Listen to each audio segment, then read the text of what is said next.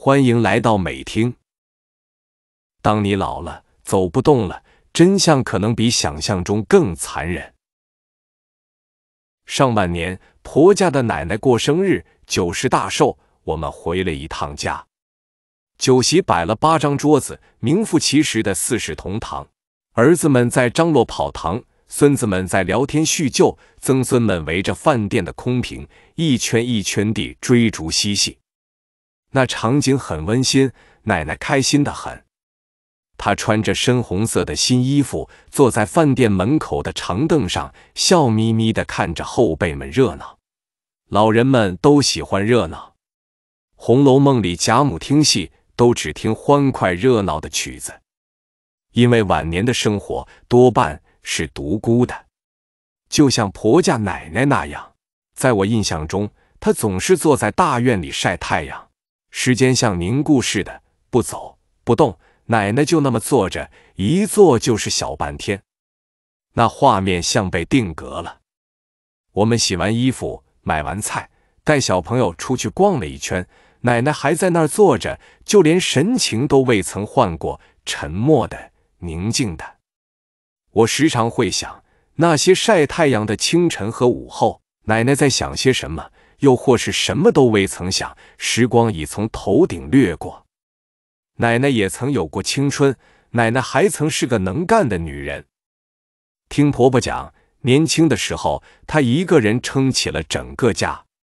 家里孩子多，吃不饱，她一边料理家务，一边下地干活，手脚利索而勤快，没有人不佩服她。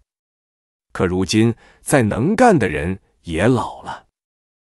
老人最喜热闹，老人最怕分别。生日宴散，我和老梁要带孩子回城，奶奶来送我们。她站在车窗口，目不转睛地看着两岁的小曾孙，眼睛湿漉漉的，自言自语似的，一遍遍问道：“下次什么时候回？多点回来看看。”我说：“奶奶，我们过两个月就回来。”奶奶抹了抹眼圈。别等到过年才回啊！别等到过年。不知道为什么，听完那句话，我的鼻尖就酸了。外婆的晚年比婆家奶奶热闹了一点。她跟舅舅一起住，家里有三个小曾孙，都是鬼精灵的顽童，一起吵闹，一起玩耍，偶尔还会去找外婆要东西吃，欢声笑语不断。但外婆身体不太好。早几年摔断了腿，大前年又查出乳腺癌，做了一场大手术。风湿、头疼、肩周炎，就连感冒这种小病，对老人而言都是巨大的折磨。时常一场咳嗽就是两三个月。我回去看他，他很开心，坐在房间的藤椅上给我讲他日常的生活。他说，白天就在门口晒太阳，跟孩子们一起玩耍。晚上孩子们要看动画片，他就不看了，一个人回房间泡上一壶茶，把两块小酥饼泡软，一点点做着吃。酥饼吃完了就该睡觉了。晚年的一切都像放慢了似的。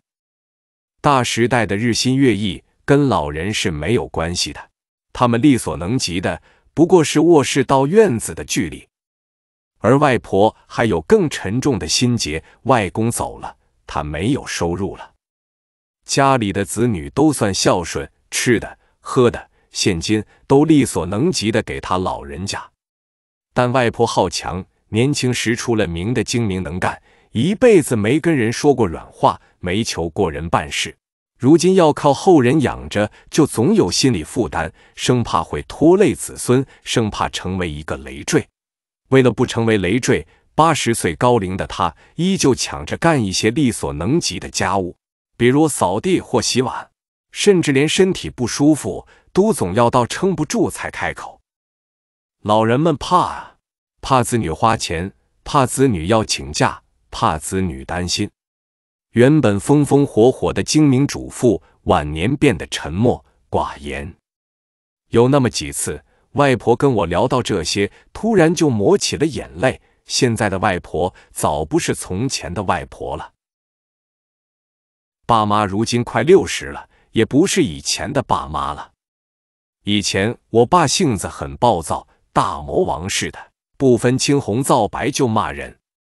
去年我接了他和妈妈过来住，顺便帮我照看下孩子。这一年里，他没骂过我一句。我说想吃什么，他第二天就张罗去买。老梁说给小孩子看战争片不好，他果然再没看过抗日神剧。大家有没有这种体会？到了某个年纪，父母的顺从是卑躬的、讨好的、小心翼翼的，像想得到夸奖的孩子一样，先把东西捧到你跟前，再偷偷的抬眼打量你，即使你眉开眼笑，他才跟着笑起来。这种讨好令我心酸。我的父亲啊，他原本是个专横霸道的人啊。最令我心酸的是，早几天我们把换季衣服拿出来洗。他竟跟我说：“你的衣服都是手洗的，怕机洗洗坏了。穿了几年的旧衣服不值几个钱，可爸爸就是怕，他怕他洗坏了，我会责备他。我宁愿相信他是老了，性子温和了，脾气变小了，也不愿相信他是在害怕，害怕子女嫌弃，害怕自己成为一个累赘。但显然。”关于变老这件事，正当壮年的我所知太少太少了。很长一段时间里，我总以为安享晚年就是给他们足够的钱，让他们在家闲着，没事喝喝茶，打打小牌，带带孙子，就是最大的幸福。但如今我发现自己错了。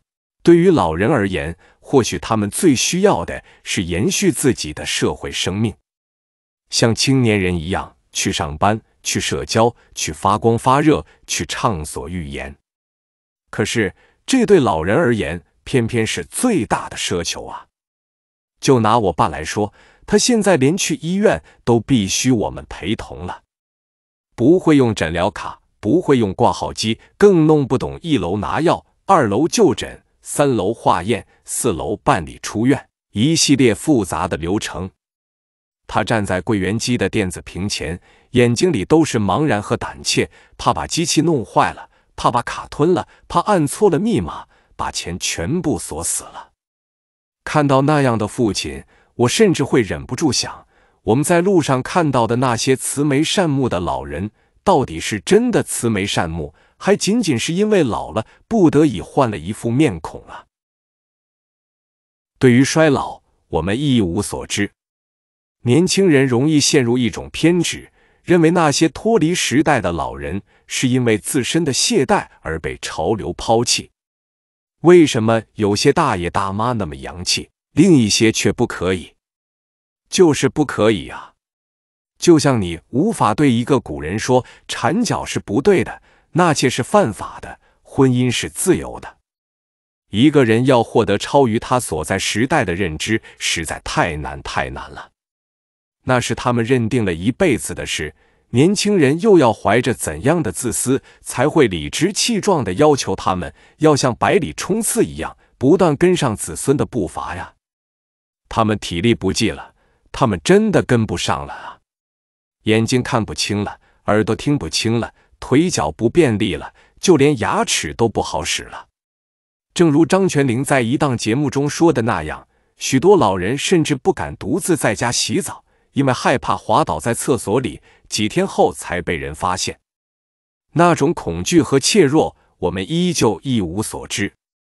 我听过许多年轻人畅想晚年自由自在、游山玩水，那当然是最好不过的状态，因为他同时满足了三个条件：有钱、有自由、身体健康。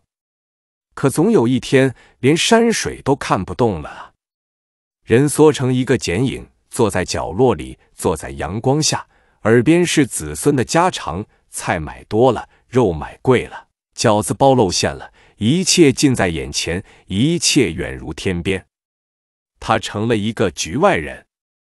作家淡报写老人的生活，做糯米藕，甜甜的，并不爱吃，但这玩意极费时间。糯米泡发，一点点用筷子塞进藕里，做好了，天就黑了。做烙饼。不是一次性烙好了再吃，而是吃一张烙一张。一切的一切都不是用孤独这样肤浅的词可以形容尽的。我们终将迎来自己的晚年，像我们的祖辈，像我们的父辈。我不知道那个时代晚年生活会不会多姿多彩，养老院和科技是否能排解一部分孤独。但在衰老还未来临之前，请努力活好每一天，以及多点关心我们的长辈吧，谅解他们的偏执，体谅他们的顾虑。如果他们愿意洗碗，就让他们洗碗。如果他们愿意做饭，就让他们做饭。工作的事儿，挑点好的告诉他们，子子孙孙常回家看看。他已经成为了社会的局外人，就不要再让他成为家的局外人了。订阅美听，我在这里祝你生活愉快。